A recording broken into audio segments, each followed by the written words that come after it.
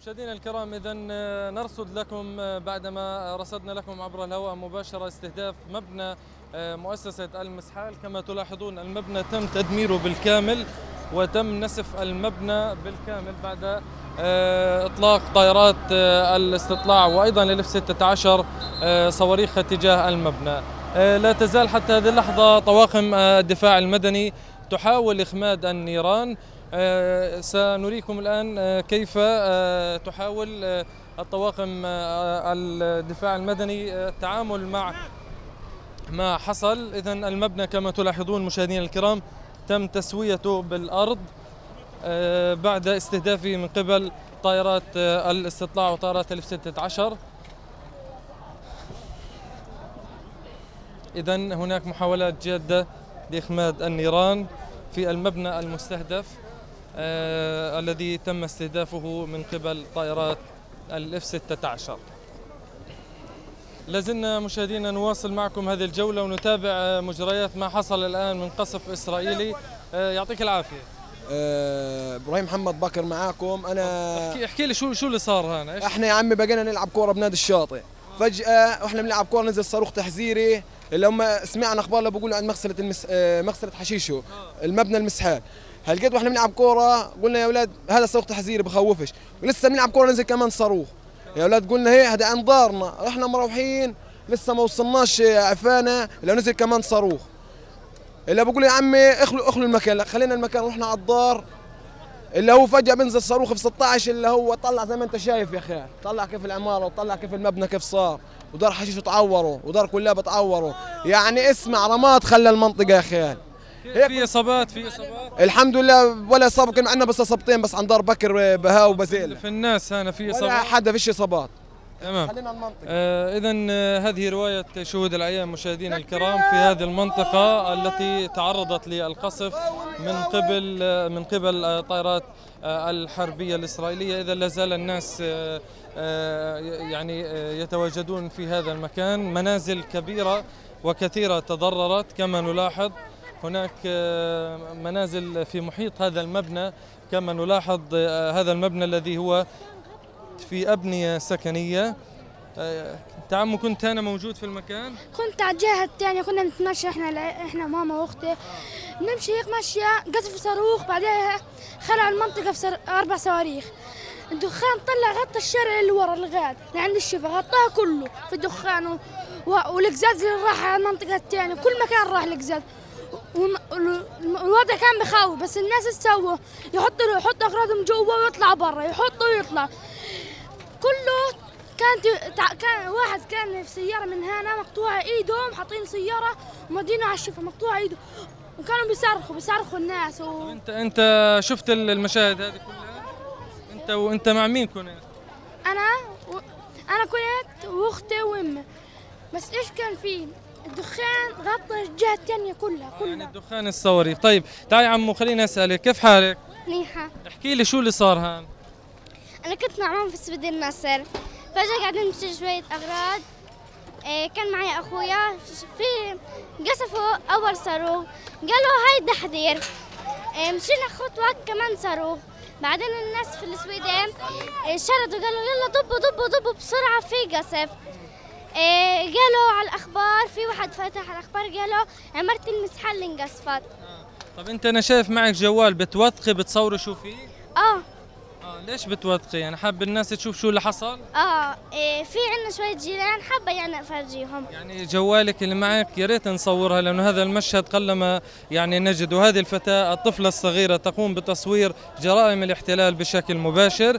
آه عمو أنت وين بتحط الصور؟ وين تودي الصور؟ إيه بحطهم هنا بنزلهم على الفيسبوك طيب ممكن. نتعرف على اسمك؟ سبأ أحمد. سبأ أحمد. إذا هذه فتاة صغيرة كانت تمر ولكنها أصرت إلا أن تصور ما يحصل من جرائم وتقوم بوضع آه، هذه الجرائم أمام الناس. كما تلاحظون هذه الفتاة الصغيرة التي آه، تصر على تصوير جرائم الاحتلال كما آه، نلاحظ ونرى. إذا مشاهدينا خلال جولتنا الآن في هذا المكان سنحاول الوصول أكثر وأقرب إلى المنازل التي تم تضررها بفعل ما حصل من آه، استهداف لهذا المبنى الثقافي الذي تتواجد فيه آه، مكتب يتواجد فيه مكتب الجالية المصرية والذي كما نلاحظ تم تسويته بالأرض. هذا المبنى تم تسويته بالأرض بعد قصفه من قبل الاحتلال الإسرائيلي بطائرات الاستطلاع والإف 16 إذا هذه زاوية أخرى مشاهدينا الكرام لما يحصل آه هذا المكان وهذا المبنى آه هو مبنى آه للمواطنين. كما تلاحظون تضرر وهذه زاوية أخرى لمبنى المسحال الثقافي الذي تضرر بفعل إطلاق الصواريخ الصواريخ الإسرائيلية. الآن سنتحدث أيضا مع الجالية المصرية. هذه الجالية المصرية يمكن طبعا آه، كما تحدثنا وأسلفنا لكم الجالية المصرية لديها مركز آه، في مركز المسحة لديها مكتب. هذا المكتب كما قلنا الآن دمر بالكامل. سنتحدث مع مسؤول الجالية المصرية الآن آه، الأستاذ عادل عبد الرحمن. آه، مسؤول الجالية المصرية في آه، قطاع غزة. أستاذ عادل عبد الرحمن الآن هذا المبنى يتم تدميره رغم وجود مكتب للجالية المصرية. ما هي رسالتكم الآن؟ هي دي رسالة اللي بيبعتها الإرهاب الإسرائيلي والإرهاب الصهيوني لقطاع غزة وللعالم كله إن هو حتى الثقافة بيحافظش عليها حتى الثقافة ما بيطلبش بيها. هي دي رسالة رسالة حقارة من من من الجيش الإسرائيلي لتدمير مبنى ثقافي مبنى بيخدم آلاف الشباب. مبنى بيخدم آلاف الأمهات المصريات الموجودين في قطاع غزة. هي دي رسالة الإرهاب اللي بيوصلها الإسرائيليين لكل العالم. شكرا جزيلا. طابق كل طابق مؤسسة كل طابق مؤسسة كل طابق فيه حاجة بتحكي عن الثقافة عن المثقفين عن الكتاب عن الدبكة عن عن الأغاني الفلسطينية التراثية عن كل حاجة لها دخل بثقافتنا. يعني لا هم عساكر ولا هم أطفال بيضربوا صواريخ. ولا هم بيفحروا أنفاق ولا هم بيعملوا حاجة. هم بس بيغنوا لفلسطين وبيحملوا تراث فلسطين وبكتبوا وبيقرأوا عن فلسطين عن كتب فلسطين وعن تراث فلسطين. بنزل المبنى لخمس طوابق بنزل على الأرض عشان بس ما نقدرش نحيي ثقافتنا ولا نقدر نعمل حاجة عشان ثقافتنا. وأنا بوصل يعني هذه الرسالة إنه يعني ليش يقصفوا اليهود؟ يعني هذا مكان يعني بعلم الناس الفن وبعلم الناس اللي هو كورة حاجات زي هذه. أشكرك جزيلا. آه، إذا أيضا هناك منازل أخرى مشاهدينا الكرام آه، تضررت آه، في هذه الزاوية. كما نلاحظ هذا المنزل المقابل لمنزل عائلة حشيش والمقابل لمبنى المسحال وأيضا لديهم يعني مشحمة ومغسلة. هذه تضررت الآن بفعل إطلاق صواريخ الاحتلال عليهم. طبعا كما أسلفنا مشاهدينا هذا المكان يتواجد في وسط مباني سكانية. هذه المباني الآن أغلبها بشكل كبير تضرر. ممكن أن نلاحظ بالصورة الآن كما تلاحظون برج سكني تضرر. آه هذه العمارة والبناية تضررت.